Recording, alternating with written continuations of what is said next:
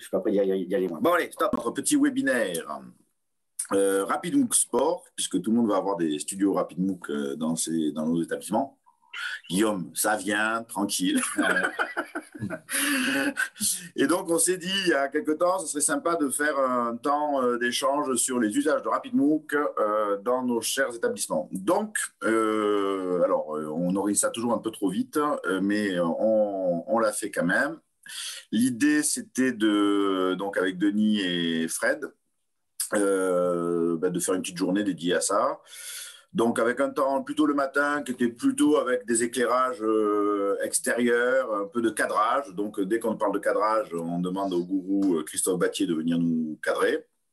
Évidemment, on s'est dit, ben, ça vaut le coup que Guillaume, qui est aussi un peu l'initiative quand même de l'idée, Guillaume Olivieri de la société RapidMook nous fasse quand même une petite présentation ben, des différentes solutions euh, RapidMook et un peu des usages qu'il y a un peu ailleurs. Ensuite, nous aurons Arnaud Gadbin, euh, qui, euh, du Krebs de Nantes, qui lui, euh, on a discuté un peu avec lui entre Denis, Fred et moi, et donc il avait une, on sentait qu'il y avait une réflexion plus générale que l'usage de RapidMook pour faire des cours ou des choses comme ça, et donc une, une stratégie digitale dans l'établissement qui se mettait en place. Donc on s'est dit ça peut être sympa, qui nous parle de ça. Donc ce matin, c'est plutôt sur ces éléments-là. Et cet après-midi, je ne sais plus trop à partir de quelle heure, mais je crois que c'est 14h30, Denis, si je ne me trompe pas L'idée, c'est d'avoir plutôt des échanges et des retours d'expérience entre nous, enfin, côté euh, jeunesse et sport, avec des usages euh, issus de nos, de nos formations ou de nos, de nos établissements. Voilà, et donc là, il y a évidemment le Nicolas Flierden national qui va causer, puisque c'est quand même un des champions du monde de l'utilisation en ce moment. Euh, moi, je raconter un peu ma vie sur mes usages passés, parce que pour l'instant, on n'en a pas à, l'ENV, j'allais dire, au Krebs de Montpellier. Euh, et puis, je ne sais plus qui qui va parler encore. Euh, euh, voilà. Donc, pendant que Christophe se promène avec son truc et astuce, on va Christophe, alors au début, on s'est dit, bon, il faut qu'on va se parler Christophe en premier parce que le port, il se couche tard et tout ça, mais on s'est dit, c'est pas cohérent. Alors, on va faire parler d'abord le père Guillaume. Ouais, ce sera rapide, t'inquiète pas, Christophe. Voilà, pour qu'il nous fasse un petit euh, point euh, sur les solutions euh, RapidMook. voilà, et ensuite, on discute cinq minutes. Ensuite, c'est notre Christophe National. et voilà. ça vous va? Nickel. Ok, ben, Guillaume, là, c'est à toi de prendre la main sur. sur voilà.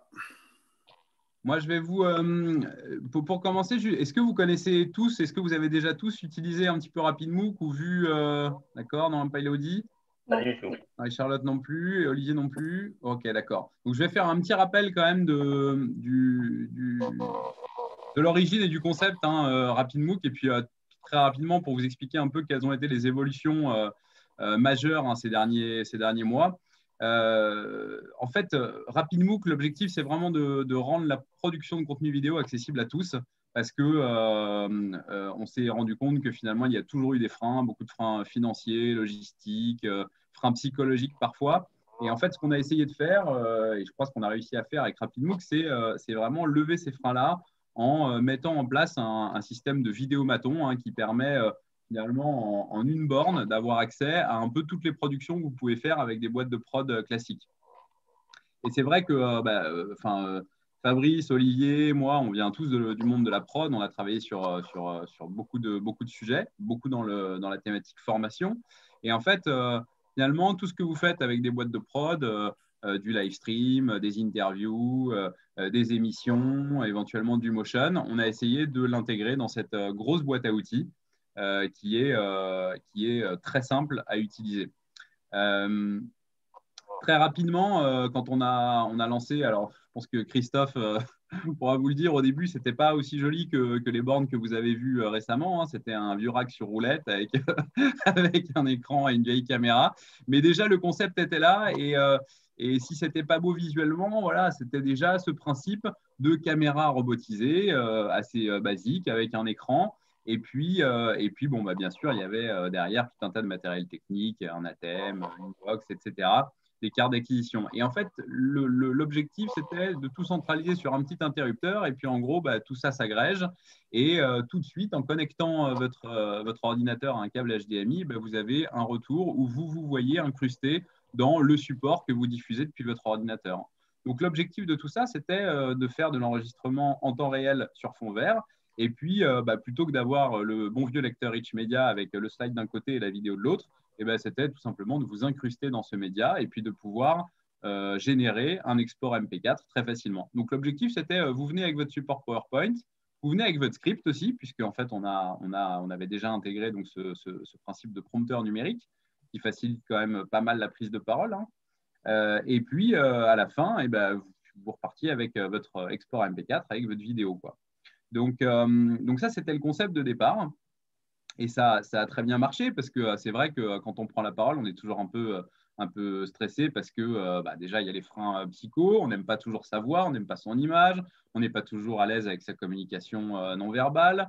et puis, il faut penser à tout ce qu'on a à dire alors, je ne sais pas si vous avez déjà bossé avec des boîtes de prod, mais, euh, mais euh, bon, moi, par exemple, avant, je dirigeais des boîtes de prod. Si vous avez une super équipe, vos prods sont géniales parce que les clients sont détendus. Mais si vous avez euh, des techniciens audiovisuels qui sont un peu saoulés, je ne sais pas, de la GR France de la veille et qui arrivent creuser, bon, bah, ils sont impatients et donc vous allez vous-même vous sentir un peu stressé parce que pas forcément beaucoup de, de, bienveillance ou de patience de l'autre côté. Là, l'avantage avec RapidMook, c'est que vous, vous êtes seul en fait. Vous êtes seul ou vous êtes à deux vous vous placez devant la borne et puis euh, bah, vous pouvez recommencer trois fois, quatre fois, cinq fois jusqu'à ce que vous soyez satisfait vraiment de, votre prise de parole. Et ça, cette dimension euh, un peu psychologique, euh, finalement, elle est super importante et elle revient dans beaucoup de retours d'expérience client. donc, pour revenir un peu à ce, ce principe de vidéomaton, en fait, la base, c'était effectivement l'incrustation en temps réel sur fond vert. Et puis, euh, après, euh, on a commencé à intégrer ce prompteur numérique. Après, on a eu des demandes de clients qui voulaient euh, générer les sous-titres. Donc, on a fait une génération en fait, de sous-titres basés sur le script prompteur. et puis, petit à petit, on a étoffé avec des formats de production un peu plus variés. Donc, ces formats, ben, c'était notamment euh, suite à pas mal de retours, notamment dans le secteur éducation, où il y avait beaucoup de profs qui disaient OK, votre système est super euh, intéressant, mais nous, euh, concrètement, nos slides, ils sont déjà prêts. On n'a pas, pas de temps pour revoir l'ingénierie graphique de ces, de ces slides. Et, et donc, bah, on ne peut pas s'incruster dedans parce qu'on pollue visuellement les, les contenus qu'on diffuse. Donc finalement, on a développé un format où on peut localiser dans une zone la présentation PowerPoint et puis, et puis pitcher à côté. Ensuite, euh, on avait beaucoup de clients qui continuaient à faire du, motion design, donc euh, voilà, des, éléments graphiques hein, qui apparaissent dans une réalité.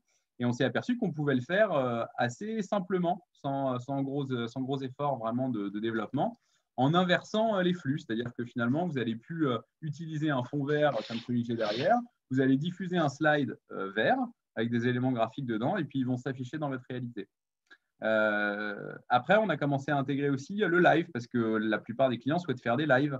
Donc, euh, on a intégré la possibilité de faire du live, notamment euh, avec des notices d'utilisation pour faire des lives sur Facebook, sur Vimeo et sur YouTube. Et puis, et puis est arrivée la crise sanitaire. Et là, on a eu beaucoup, beaucoup de beaucoup d'échanges, notamment dans, le, dans notre biotope éducation. Et puis, et puis avec beaucoup de clients qui nous disaient, alors déjà, deux, deux gros besoins. Un, euh, bah, il nous faut des bornes plus mobiles. Et vous voyez, la borne, elle n'est pas, pas non plus euh, petite à transporter. Donc on a fait celle-là. Qui est beaucoup plus petite, hein, qui est le Rapid Move Go, que Christophe connaît bien, hein, puisqu'il en commande des, des containers entiers. Et euh, c'est beaucoup déjà. Et, et donc, effectivement, ça nous a bah, ça nous a mis un coup de pied au cul en fait, parce que ça faisait longtemps euh, qu'on était, euh, qu'on était censé travailler sur cette borne mobile. Mais euh, voilà, enfin, on, reste quand même une, une, société de petite taille. Et donc, voilà, on n'avait on avait pas réussi à, concrètement sortir le projet du carton. Là, on a accéléré ça avec l'atelier, notre atelier qui est à Montpellier d'ailleurs. Et, et, puis, on a commencé à concevoir cette borne. Et, et en gros, c'est exactement le même principe que la borne, hein, que la grande borne. Hein, vous voyez, c'est toujours le principe de la caméra robotisée. Alors, à la place de l'écran, bah, c'est plutôt une tablette. Et puis, puis on a évidemment concentré vraiment le hardware dans la partie supérieure pour qu'elle se désolidarise de la partie inférieure et qu'on puisse l'emmener éventuellement dans un sac avec la possibilité de, la mettre sur un trépied comme ça, en tabletop, qui est super pratique parce que du coup, euh, voilà, on répondait à cette euh, demande forte euh, de, pas mal de, profs et de pas mal de, contacts dans le, learning qui nous demandaient vraiment un, une borne mobile qui s'adapte à toutes les configurations en amphi, en TP, qu'on peut éventuellement amener chez soi aussi. et bien sûr, qui a toutes les fonctionnalités de RapidMove. Quoi.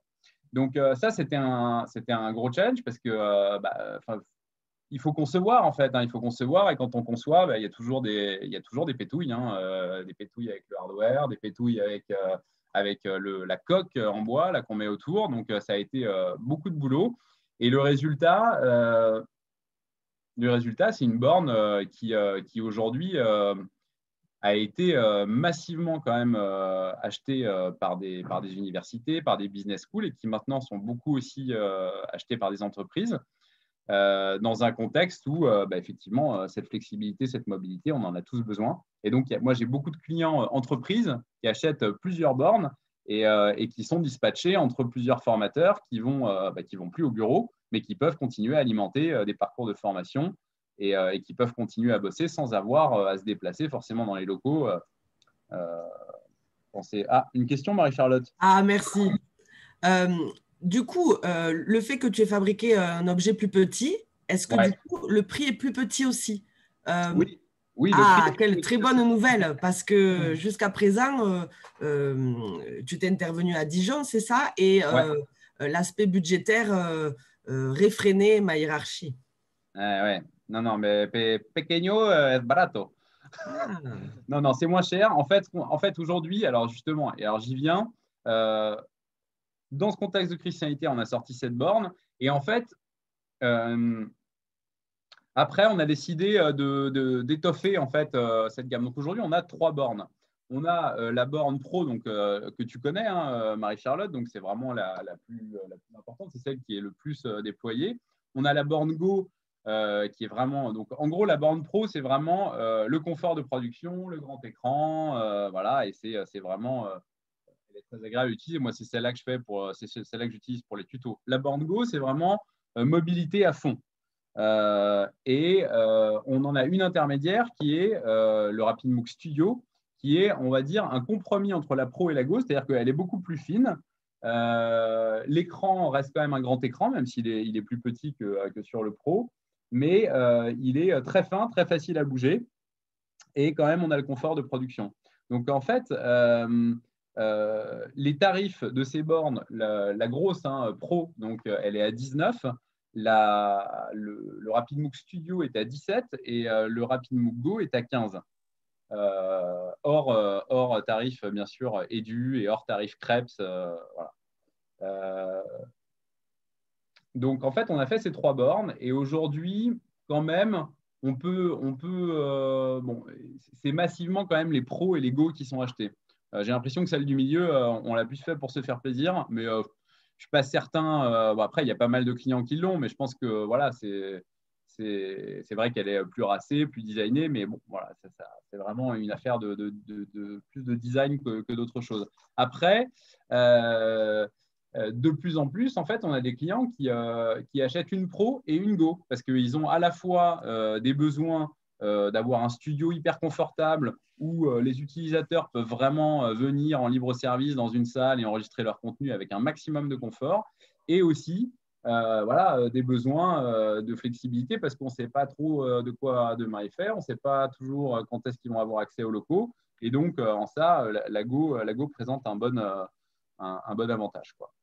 Donc, euh, donc oui, plus, plus petite, plus chère. Donc il y a trois, trois tarifs maintenant. Et puis surtout, euh, autant, euh, parce que vous savez que RapidMook, en fait, on, vendait toujours ça en pack, en fait. Donc c'était la borne, les éclairages, le fond vert et puis des télécommandes. Hein, les télécommandes les télécommandes Logitech avec un clavier de contrôle.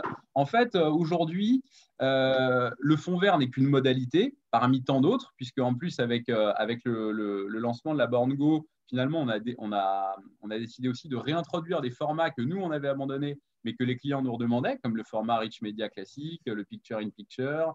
Et, et donc, on a réintroduit ces formats. Donc, aujourd'hui, on a a la possibilité de s'incruster euh, dans un site PowerPoint. On va pouvoir faire aussi de la réalité augmentée en faisant apparaître des éléments graphiques dans sa réalité. On va pouvoir faire, comme faisait euh, Christophe, là, euh, se réduire de taille et puis utiliser la flying window pour se déplacer un peu où on veut dans le visuel. Ça, c'est hyper pratique aussi parce qu'on va pouvoir jouer justement avec, avec le, le, graphique, en fait, le graphisme de ces présentations. On peut se mettre à l'échelle d'un décor euh, ou, interagir avec des éléments qui sont dans le décor. Donc ça, ça peut être vachement intéressant.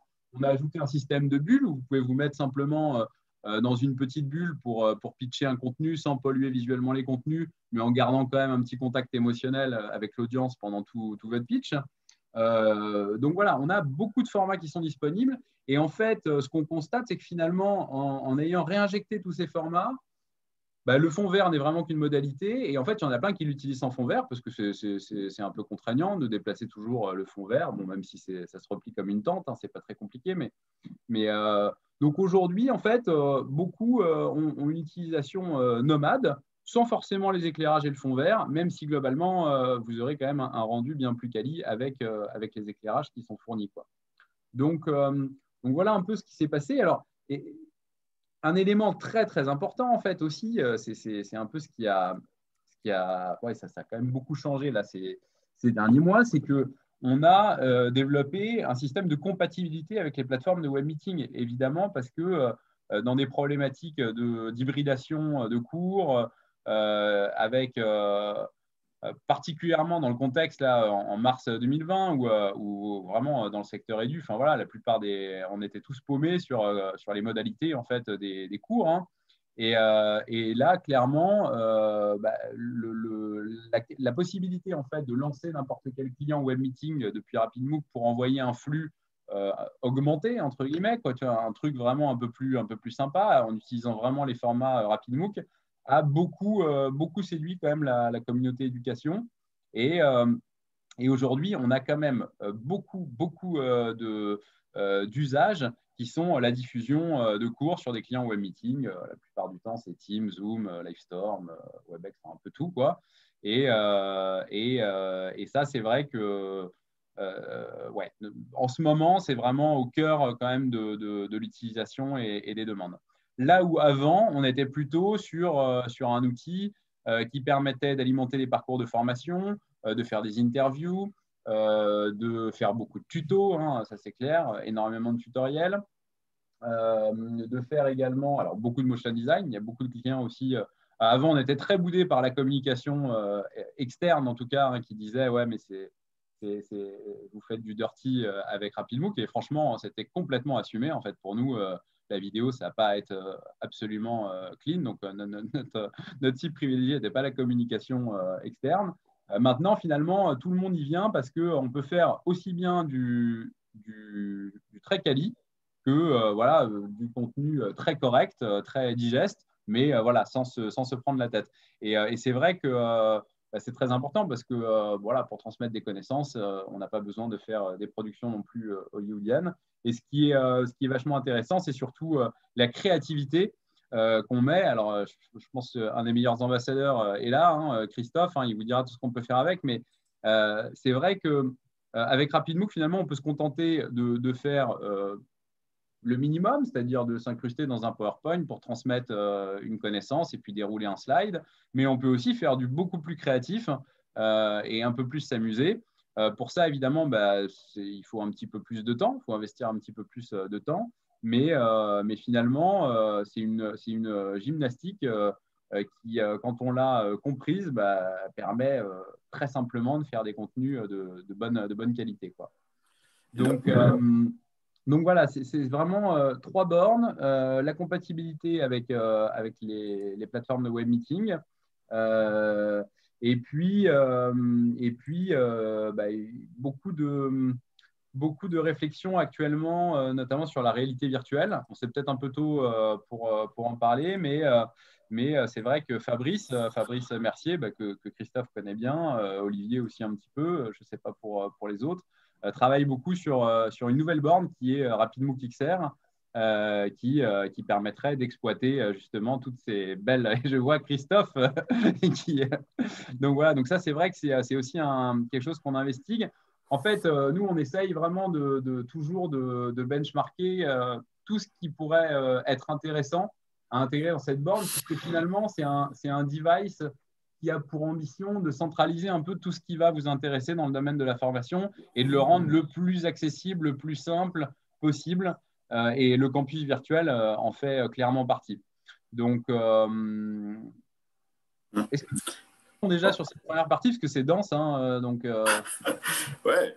Et non, non, mais alors moi, à chaque fois, j'ai une question, c'est que chaque borne, finalement, elle a un format différent. Ouais. mais globalement, elles ont toutes les mêmes fonctionnalités? Ouais, en fait, c'était c'est un truc qui était. Alors, c'était pas le cas au début. C'était pas le cas au début. Euh, c'était euh, vraiment dégradé hein, au niveau fonctionnalité, notamment sur la Go. Et en fait, on s'est euh, on s'est beaucoup appliqué à les rendre iso-performantes et iso-fonctionnelles. Donc aujourd'hui, elles, font, elles font toutes exactement la même chose. Par exemple, sur la, la, Go, au départ, il y avait le tracking caméra qu'il n'y avait pas sur la, sur la Pro et le Studio. Aujourd'hui, c'est intégré. il y avait aussi des fonctions qui n'étaient pas disponibles dans la Go. Il n'y avait pas la réalité augmentée. Euh, et en fait, c'était frustrant euh, parce que euh, moi, par exemple, j'avais des clients qui me disaient Putain, tu, tu m'envoies une, une, borne, j'ai tout dedans, et sur la petite, je peux faire trois trucs. Donc, en fait, on s'est dit Ok, c'est pas possible. Et puis, on a eu aussi un gros, un gros sujet c'est que on avait, on avait revu l'interface récemment pour faire une interface plus sympa, plus simple, plus sexy pour la borne, pour la grande borne. Mais c'est clair que bah, sur un écran tablette de Lago, ça va pas euh, ce qu'on a fait. Quoi. Donc en fait, on a dû revoir encore l'interface. Et puis là, bah, du coup, il faut penser plutôt à une app euh, smartphone. Quoi. Hmm. Donc du coup, on a revu l'application. Je pense que Christophe pourra vous en parler euh, et je peux vous montrer aussi quelques, quelques, quelques planches, mais c'est beaucoup plus simple à prendre en main. et puis surtout, c'est plus, plus adapté. Alors après, on, a fait cette, on a révisé donc cette interface pour la, pour la Go. Et puis après, en fait, on a des clients qui nous ont dit Ouais, mais attends, c'est chiant ton truc parce qu'on a une interface pour la Pro et on en a une différente pour la Go. Et on s'est dit Bah oui, oui, c'est vrai que c'est con. Aujourd'hui, on est vraiment ISO-fonctionnel, ISO-performant, même interface et on fait exactement ce qu'on fait avec une Go que ce qu'on fait avec une Pro. Le seul truc, c'est que effectivement, euh, tu es un peu moins confort euh, sur la Go parce que euh, bah, le prompteur, euh, il est quand même un, peu plus, un peu plus étriqué que sur Christophe Valide. Hein. donc, c'est clair que tu peux pas avoir, enfin, tu peux pas tout, tout gagner. En fait, ce que tu gagnes en mobilité, tu le perds un petit peu en confort. je trouve que le, le, RapidMove Studio, c'est le bon compromis parce que tu la bouges facilement, mais en même temps, tu peux pas non plus l'amener dans un sac à dos. Donc, donc voilà, c'est, je pense que c'est vraiment le confort versus la mobilité, en sachant que euh, en ayant cette mobilité avec la Go, tu peux quand même faire tout ce que tu fais avec, euh, avec la Pro, et tu as quand même un prompteur euh, correct, le rendu est bon, et puis bah, tu as le même rendu son, et, et donc voilà, c'est, aujourd'hui on arrive quand même à cette, à cette homogénéité. Quoi. tu m'as bien ciblé, moi tu m'as mis le milieu de gamme, quoi. Au milieu. Que... ouais.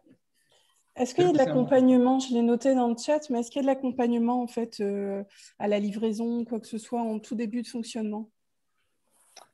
Excuse-moi, ça a coupé, Elodie. Excuse-moi, je n'ai ah. pas tout entendu. Bon, j'espère que vous m'entendez bien. Là, ouais, ça va euh, nickel. Est-ce qu'il y a de l'accompagnement en fait au tout début euh, quand, on, quand on commande et puis quand c'est installé? Oui, alors bien sûr, bien sûr. Nous, en fait, euh, on s'occupe euh, bon, évidemment de la livraison, de l'installation et de la mise en service. Et, euh, et, puis, il y a une formation de 2h30 qui est inclue et, et à l'issue de laquelle tu es vraiment complètement opérationnel sur, sur l'outil. On a, on a également beaucoup de tutos. Donc, on a vraiment morcelé. On a fait des tutos pour chaque, chaque fonctionnalité. Ces tutos, ils sont intégrés en fait dans le studio. Donc, tu as, as, maintenant un onglet support où tu vas pouvoir retrouver tous ces tutos. Euh, bien sûr, il y a le guide utilisateur. Et puis, euh, tout au long, euh, en fait, quand, tu, achètes une borne, il y a un contrat de support qui est, qui est prévu pour un an et dans le cadre duquel tu disposes en fait à la fois d'une adresse mail sur laquelle tu peux poser des questions fonctionnelles, des questions techniques.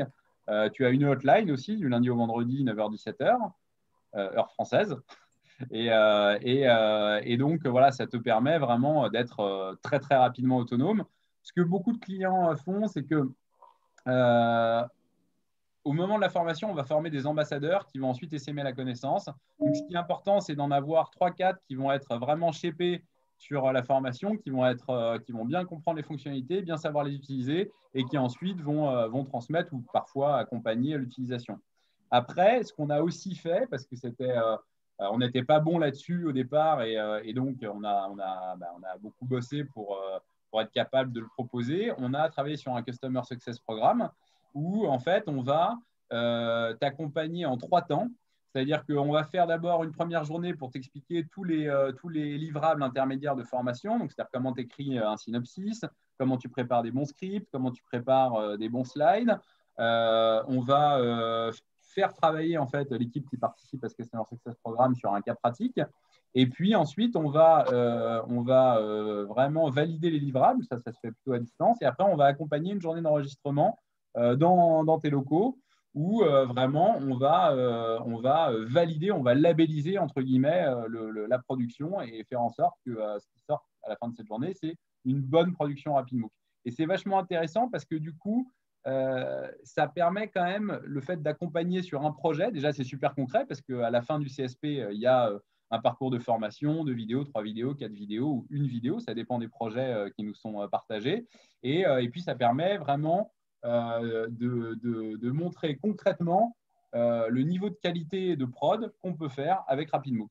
Parce que, euh, et pour être aussi totalement transparent, on peut faire du dégueulasse avec RapidMook. Hein. chez BNP, par exemple, on avait, on avait déployé l'outil, les clients trouvaient ça génial, et puis après deux, trois mois d'utilisation, j'avais des retours de Catherine L'Enfant et de Nasser Ibrahima, le Head of Learning, là, qui nous disait, mais en fait, les gens euh, l'utilisent et puis ils disent mais c'est de la merde euh, cet outil parce que euh, regarde c'est dégueulasse ce que j'ai fait. Et puis en fait heureusement les clients ont dit mais c'est de la merde parce que tu t'es pas investi tu n'as pas fait des bons supports tu n'as pas préparé ton script tu n'as pas géré la lumière etc donc ils ont commencé à s'inscrire dans cette démarche d'accompagnement pour dire non mais les bonnes pratiques c'est ça. Tu te mets à un mètre du fond vert tu te mets à deux mètres de la borne tu fais des slides en 16 neuvième tu te tu prépares pas euh, des slides trop chargés. Donc, c'est vraiment des bonnes pratiques. Donc, nous, voilà, aujourd'hui, on est capable de diffuser ces bonnes pratiques et d'accompagner les clients pour le faire. Et de manière générale, la plupart des clients, déjà, euh, instinctivement, font euh, beaucoup d'accompagnement après la formation parce qu'ils ont compris quand même très vite les bonnes pratiques et on arrive à des contenus de, meilleure qualité. Quoi. une question sur, comment s'appelle? La réalité augmentée. Oui. C'est votre nouveau euh, comment dire, un point de recherche. Mais en fait, est-ce que c'est pour que, par exemple, on fasse un... En fait, est-ce que les, les, bornes sont liées entre elles, par exemple? Est-ce que je... Euh, non. C'est pas ça? Non, elles ne sont pas liées entre elles. Alors, juste, juste une petite précision, Marie-Charlotte, en fait, le, le, la réalité augmentée, c'est déjà un truc. Alors, c'est peut-être un nom un peu pompeux pour une fonction qui est finalement euh, assez simple, mais c'est déjà complètement rodé et intégré dans la borne. La réalité augmentée, en fait, c'est euh, tu ne veux pas utiliser euh, de fond vert. Euh, donc, tu es vraiment dans, une, dans ton bureau, alors si possible, dans un endroit sympa où, il y a un mur, un peu de meubles sympathiques, etc. Et tu vas connecter ton ordinateur. Tu vas lancer un slide qui est vert, donc un slide par exemple avec 10 planches vertes. Sur ces planches vertes, tu vas coller des éléments graphiques. Ça peut être des schémas, ça peut être du texte, ton nom, ta fonction, des chiffres, voilà, des choses comme ça ou des belles images. Euh, et tu, ces images, en fait, elles vont apparaître dans ta réalité, comme du motion design, en fait. Donc, en fait, c'est une manière très simple. Si tu là où sur le motion, normalement, tu dois faire appel à un animateur, un concepteur, euh, et où ça prend du temps et où c'est cher, et bien là, en fait, juste en faisant du copier-coller sur des slides verts et en connectant ton laptop à RapidMook et en choisissant le mode réalité augmentée, tu vas faire un support où les éléments graphiques apparaissent dans ta réalité et donc le rendu est super chouette. Donc ça, c'est vraiment validé. Après, le point de recherche, c'est plutôt effectivement euh, le côté campus virtuel. Euh, et, là, voilà, c'est autre chose. Mais euh, voilà, il est un peu tôt pour en parler. Est-ce que c'est possible, par exemple, de, de co-animer une production? Si par exemple j'ai envie de faire un tuto avec Christophe et Olivier, tu vois, qui, sont, qui habitent complètement très loin de chez moi, et d'être plusieurs C'est possible actuellement ou c'est ce que tu essaies de développer? Excuse-moi, Marie-Charlotte, euh, euh, pardon, excuse-moi, euh, c'était parce que je, regardais en même temps un message de Nicolas qui me disait qu'il faisait apparaître des poulpes et je, sais qu'ils font des trucs de dingue. un truc de dingue au crêpes Stacca. Donc, euh, donc je pense que d'ailleurs, vous allez vous. Alors, on va faire attention au timing quand même, parce que Christophe, il ne faut pas qu'il se couche à 3 h du matin. Donc, on va sur quelques questions. On peut animer une, une production à distance, alors que chacun est derrière son rapide euh, tu vas pouvoir euh, animer un web meeting, par exemple, en, lançant un client euh, web meeting depuis ta borne et puis d'autres se connecteront. ça, c'est possible. Après, ouais, les bornes ne sont pas, sont pas liées entre elles. Donc, en fait, ouais, tu as quand même besoin.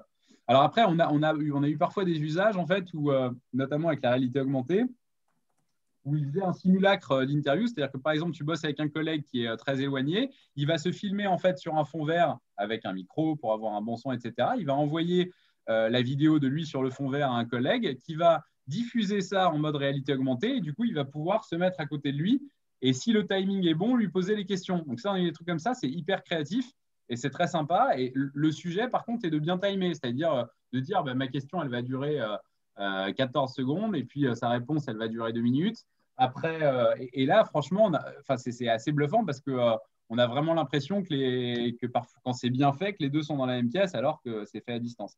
Mais c'est un peu fastidieux quand même. Ok, alors est-ce qu'il y a encore une ou deux questions? Euh, Je sais que tout à l'heure, Marie-Claire avait le micro ouvert. Alors, est-ce que tu as une question, Marie-Claire? Mais c'est moi qui t'ai fermé ton micro. est-ce qu'il y a des questions ou pas? Bonjour. J'ai encore une question. Bonjour, Marie-Claire. Euh, dans, les, dans les collègues, dans les différents crêpes, c'est un qui est équipé Parce que l'idée aussi, ce serait peut-être de, de, voir un petit peu à quoi ça ressemble euh, l'outil en fait avant. Bien sûr. Ah, bah, je te laisse répondre ou je réponds moi. Euh. Vas-y, vas-y, Olivier. Ben là, actuellement, alors tu as l'ENV, comme tu es Hauts-de-France, qui, est, qui, est, équipé. Tu as Châtenay-Malabry qui est équipé. Tu as Dijon. Tu as, si je redescends ensuite à Antibes, euh, il y a Nantes qui est en train de, de, s'équiper. Il y a Toulouse qui est en train de s'équiper. On a nos problèmes financiers, tu vois, de stratégie financière sur le sujet, euh, et Montpellier. Euh, mais voilà, donc ça, c'est dans un avenir de, pour les trois derniers, c'est dans sept semaines, si je ne me trompe pas. Enfin, une fois que la commande est passée, après, il y a sept semaines de délai. Voilà. Donc tu peux aller voir un peu partout. Après, sinon, euh, ben, Guillaume, il va te dire à Paris, euh, il a un showroom, je sais pas comment on dit. Ouais. Euh. Ouais, ouais, ouais, non. Après, il y a bien sûr, ouais, il y a, il y a tout, ces, bah, tout ce que tout ce qu'a dit Olivier. C'est vrai que après, bon, ce qui est sympa, je pense que, enfin, le plus intéressant, c'est de voir en conditions d'utilisation réelle dans un crêpe. Après, mm. moi, je peux t'accueillir à Paris. Il y a Olivier Fabrice qui peuvent t'accueillir à Lyon. bon, et puis après, on en a dans d'autres endroits, mais ce serait pas forcément plus pratique. Donc, et puis, bah, ouais, euh, après, euh, ouais, euh, le MLV ou. Nous aussi, en Polynésie, on accueille. Hein. voilà, ça, ça, ça, peut être pas mal. Je prends. je, vais, faire, je vais négocier avec ma hein, directrice. bon, il faut, maintenant, il faut 15 jours de quarantaine, hein, par contre. Hein. Il faut les tests PCR, tout le bazar, mais tu peux venir. Voilà. Mais petite remarque, tu vois, Elodie, c'est que moi, ce que j'ai trouvé magique, mais c'est Christophe, les essais au début et tous les, les, les, les premières qu'on a fait avec Pascal Choteau, etc., c'était à, c'était à Lyon, euh, à l'époque où Christophe était à Lyon. Et, euh, et par contre, moi, ce que j'ai trouvé assez magique en fait là-dedans, c'est le fait qu'on se retrouve très facilement dans, son univers de formateur. Euh, euh alors après, chacun son style. Il y en a qui veulent le prompteur, d'autres qui ne le veulent pas, d'autres qui improvisent, d'autres qui n'improvisent pas, etc., euh, etc. Mais euh, entre les vidéos qui sont faites avec des, des, mecs qui viennent nous filmer, etc., tout, le, tout le sketch qui va avec, euh, et des vidéos faites avec RapidMook, ce qui est certain, c'est qu'avec RapidMook, je me suis trouvé vachement, vachement mieux, quoi. beaucoup plus naturel, rapidement. enfin, en tout cas, ça correspond. J'aime toujours pas me regarder mais vous m'écoutez, forcément, enfin, y a, y a, enfin j'exagère un peu, je, on prend l'habitude, mais, le, mais c'est vrai que est, on est très vite dans notre univers. D'accord. Et ça, c'est assez, euh, assez bluffant, moi, j'ai mm. trouvé. Euh, je voudrais revenir sur des questions euh, d'argent. Alors, on prend encore trois minutes. Ah. Ensuite, soit Guillaume, il a le temps de rester avec nous et il reviendra plus tard. Moi je, reste, moi, je reste avec vous. Ouais. Voilà, et on discute après avec lui. Et euh, dans ce cas-là, on laisse poser Christophe pour que quand même il ait le droit d'aller. Euh, il est temps de boire l'apéro avant de se coucher. Euh, sur des questions financières, peut-être on pourra revenir en parler entre nous ultérieurement pour savoir comment ou alors, est-ce que Guillaume, tu acceptes le paiement pluriannuel? Comment, enfin, à un moment, il y a des questions concrètes, tu vois. est-ce que tu la loues, ta machine, peut-être à l'année, ou est-ce que tu acceptes le paiement en plusieurs années? Je sais pas. Non, en fait, on a, on a lancé, euh, ça, fait, ça fait longtemps hein, qu'on réfléchissait au, système de location. Euh, on n'a aucun client euh, qui est parti pour ça parce que finalement, finalement, ça revient à plus cher que de l'acheter. après, on pourrait, hein, on pourrait tout à fait envisager, on l'avait fait, on l'avait fait pour quelques, quelques clients, une location d'un mois, par exemple, à l'issue de laquelle ils achètent ou ils nous rendent le matériel. S'ils l'achètent, bon, bah, c'est déduit de leur, de leur acquisition. Et s'ils ne l'achètent pas, bon, bah, ils ont payé un mois de location avec, euh, avec les frais autour. On a une petite main euh, levée euh, pour Christophe. Et, et puis, bon, voilà. Ah ouais. Donc, on peut le faire. Marie-Charlotte, hein. tu sais bien qu'il ne faut jamais raisonner comme ça. Ah, Marie-Charlotte, tu me connais, il ne faut pas raisonner comme ça. Il ne faut pas raisonner argent. Il faut raisonner, si tu veux te l'acheter, il faut trouver des partenaires. Si toi, tu n'as pas le budget, des partenaires autour de toi, la, commune, la, collectivité territoriale du coin, une entreprise, tout ça, à qui tu pourrais cofinancer, co-louer, vendre d'avance des, journées. On est dans la fonction publique, euh, c'est possible, euh, même chez vous, je pense, où tu dis, bah voilà, j'ai un partenaire, c'est la mairie, euh, c'est l'entreprise du coin, c'est le collège du coin, qui a un projet et ils auront accès une demi-journée, une journée par semaine, par mois. Après, tu définis un truc, tu définis un budget et ça te fait déjà un financement. Nous, c'est ce qu'on fait ici.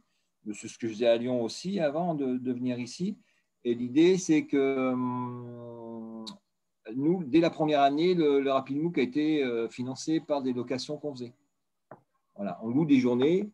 Euh, euh, c'est des journées de 8 heures. Et donc, les gens, les entreprises du coin, le gouvernement ici, les collectivités territoriales, enfin bref, il y a plein de gens qui ont des petits besoins ou des gros besoins et tu les vends euh, il y a même une collectivité qui m'a pris 30 euh, jours l'année dernière. Donc, c'est 30 jours à 1000 euros, par exemple, bah, ça te paye deux de MOOC. Voilà, et après, après là, sur, euh, pour, ce qui concerne Marie-Charlotte, là, normalement, on va se retrouver avec Toulouse et Montpellier dotés. C'est pas très loin. C'est-à-dire que si tu veux te faire des journées de production euh, alors après, sur les modalités, euh, ça, ça effectivement, est-ce que c'est loué, pas loué, à quel coût, etc. etc. Le, tu vois, mais, mais, mais, du coup, tu peux venir te faire des journées de production. C'est ce qu'on faisait, nous, quand on allait à Lyon. Euh, tu vois, je pense à la FFH, on venait, on amenait un kiné, je vous montrais une deux des vidéos comme ça, et le, le mec arrivait dans la journée, il faisait 10 vidéos sans avoir rien préparé. il bidouillait son diaporama dans le coin, puis il arrivait, hop, on faisait un truc, tu vois. Donc, euh, il y a un côté assez rapide et assez euh, fonctionnel. Donc, il y, a aussi des possibilités de ce type-là. Euh, et par contre, Guillaume aussi bien, il peut te dire, attends, à Narbonne ou à Perpignan, pardon, je sais, je me goûte toujours, tu as, une boîte à côté qui, qui, dispose de l'outil et il y a peut-être moyen de faire des conventions, des choses comme ça. Voilà, En période de, de, de, de Covid, c'est évidemment compliqué. Nous, on en a un à, 300 mètres de, du, du, du, Krebs à la fac de pharma, mais en fait, finalement, aujourd'hui, les choses sont très, très cadrées sur le fait de rentrer, pas rentrer, enfin, voilà. Et ensuite, par contre, le fait de s'équiper, c'est aussi la, répondre aux, pratiques des formateurs. C'est que d'un coup, ils ont besoin de faire une vidéo. Si on commence à avoir des conventions et des machins et prendre des rendez-vous, ça, ça complique le truc. Donc, c'est vrai que l'idée, c'est de donner une, facilité d'accès. Euh, le studio est disponible. Et là, on ne te parle même pas des usages encore avec les stagiaires euh, qui sont aussi euh, envisageables, quoi. même plus qu'envisageables. Bon, voilà. Je ne sais pas si Guillaume, tu as envie de réagir ou quoi. Et après, on, donnera la parole à. Sauf si quelqu'un a encore une question euh, importante à, Guillaume. Moi, je reste avec vous. Hein. Après, si vous voulez, mm. on peut laisser Christophe peut-être. et puis après, moi, si vous voulez, on reparle de, points précis que vous voulez avoir. Mm. Je reste avec vous. Ok, on lance euh, le grand gourou. Il va slider dans les images. bon, merci Guillaume en tout cas, c'est cool. merci à vous. Merci beaucoup. Je partage mon écran. Bonjour tout le monde. Alors, attends.